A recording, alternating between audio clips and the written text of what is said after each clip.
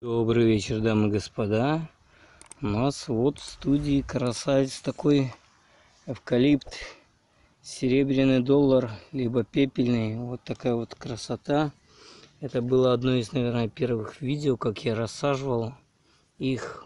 Не знаю, этому видео, наверное, месяцев 6 или 8, я уже не помню, когда я занялся, скажем так, ведением этого видеожурнала каламбур как что растет. Ну вот так вот уже сантиметров 50 наверное точно в высоту он будет.